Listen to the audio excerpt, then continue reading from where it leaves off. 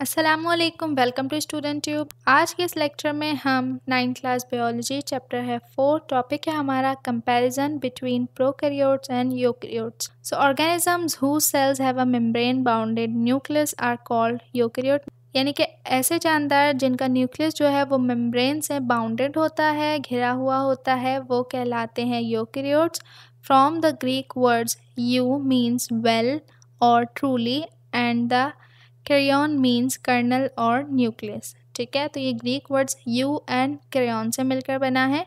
Organisms who cells do not have a membrane bounded nucleus are called prokaryotic तो ये बिल्कुल इसके opposites है, यानी कि ऐसे जानदार जिनका जो न्यूक्लियस है, वो मेम्ब्रेन से बाउंडेड नहीं होता तो ऐसे कहलाते हैं प्रोकैरियोट्स प्रो मतलब बिफोर मीन्स बिफोर ठीक है?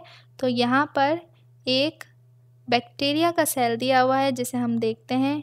तो यहाँ पर जो आपको ये ब्लू न, ब्लू पार्ट नज़र आ रहा है, ये है डीएनए, ठीक है? इसके बाद आपको जो यहाँ पर पिंक डॉट्स नज़र आ रहे हैं, ये ये हैं राइबोसोम्स। इसके बाद यहाँ पर, इसके बाद यहाँ पर जो ये पर्पल लाइन है, ये है प्लाज्मा मेम्ब्रेन।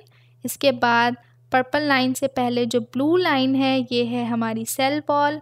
इसके बाद है पर्पल, ब्लू एंड देन इसके बाद जो येलो लाइन है, वो है कैप्सॉल इसके बाद इस बाहरी साख्त पर जो आप ये उभरी हुई चीज़ देख रहे हैं, ये हैं पिली. इसके बाद यहाँ से निकलता है बैक्टीरियल फेलाजेलम अब ब्लू और पिंक पार्टिकल जिस सरफेस पे है, वो कहलाता है साइटोप्लाज्म इसके बाद यहाँ पर एक चार्ट है तो सेलुलर स्ट्रक्चर है, फिर इसके बाद है प्रोकैरियोटिक सेल फिर है यूकैरियोटिक सेल तो यहाँ पर हम सेलुलर स्ट्रक्चर देखते जाएँगे और साथ ही में दोनों को प्रोक्रियोट्स एंड यूक्रियोट्स को भी देखेंगे।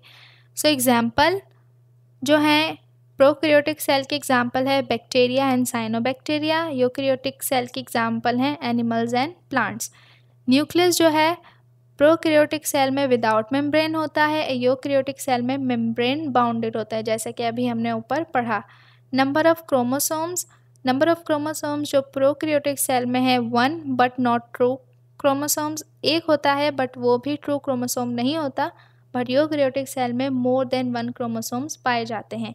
इसके बाद नंबर ऑफ़ सेल्स तो प्रोक्रियोटिक सेल जो है वो यूनिसेलुलर होते हैं, यानी कि एक सेल पे मबनी होते हैं एंड यूक्रियोटिक सेल जो हैं वो यूनिसेलुलर भी होते हैं और मल्टी सेलुलर भी होते हैं, यानी कि एक से जायद सेल्स पे भी बने होते हैं और एक सेल पे भी बने होते हैं। इसके बाद ट्रू मेम्ब्रेन बाउंडेड ऑर्गेनल तो ये प्रोक्रियोटिक में नहीं होता क्योंकि प्रोक्रियोटिक में नहीं होता, यही चीज़ इसे प्रोक्रियोटिक बनाती है और क्योंकि ट्रू मेम्ब्रेन बाउंडेड ऑर्गेनल्स होते हैं तो ये यूक्रियोटिक सेल में होता है। लाइसोसोम्स एंड पैरोक्सीसोम तो यहाँ पर ये एबसेंट है और इसके बाद यूक्रियोटिक में ये प्रेजेंट होता है। फिर है माइक्रोट्यूब्यूल्स तो एबसेंट और रेयर नहीं होता। अगर पाया भी जाता है तो बहुत रेयर है और यूक्रियोटिक में प्रेजेंट होता है। इसके बाद एंडोप्लाज्मिक रेटिकुलम देखें तो ये इसमें मौजूद नहीं होता। प्रोक्रियोटिक में एबसेंट होता है यूक्रियोटिक में प्रेजेंट होता है। इसके बाद माइटोकॉन्ड्रिया, अगेन, यहाँ पर एबसेंट है and then present in eukaryotic. फिर राइबोसोम्स जो है स्मॉलर सेवेंटी एस और स्मॉलर होता है सेवेंटी एस पे और ये जो है लार्जर होता है एट्टी एस इसके बाद वेसिकल्स देखें तो प्रेजेंट दोनों में प्रेजेंट हैं। इसके बाद गोल्जी एपरेटस देखें तो प्रो प्रोकैरियोटिक में एबसेंट है एंड यूकैरियोटिक में प्रेजेंट है, इसके बाद क्लोरोप्लास्ट प्रोकैरियोटिक में एबसेंट है और यूकैरियोटिक में ओनली इन प्लांट्स होता है, क्योंकि क्लोरोप्लास्ट जो है वो ग्रीन कलर होता है बेसिकली जो कि प्लांट्स में मौजूद होता है। प्लाज्मा मेम्ब्रेन विद स्टेरॉइड तो यूजुअली नो यानी कि काफ़ी हद तक मौजूद नहीं होती बट जो यूकैरियोटिक है उसमें मौजूद होती है। इसके बाद परमेबिलिटी ऑफ़ न्यूक्लियर मेम्ब्रेन जो है प्रोकैरियोटिक में नॉट प्रेजेंट एंड यूक्रियोटिक में सिलेक्टिव होते हैं, यानी कि कहीं पर मौजूद होती है और कहीं पर नहीं भी होती।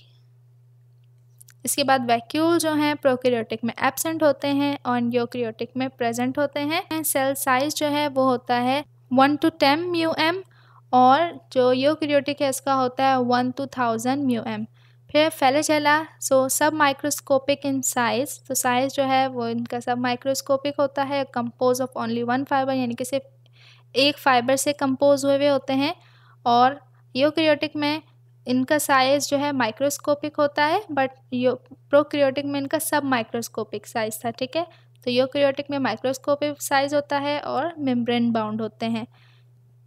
तो ये था comparison prokaryotic and eukaryotic cells का उम्मीद करती हूँ कि आपको अच्छे समझ आया होगा। वीडियो हेल्पफुल हो तो आपने इसे करना है लाइक, शेयर, चैनल पे न्यू है तो इसे सब्सक्राइब किए बगैर मत जाइएगा। मिलते हैं नेक्स्ट वीडियो में, तब तक के लिए अल्लाह हाफिज़।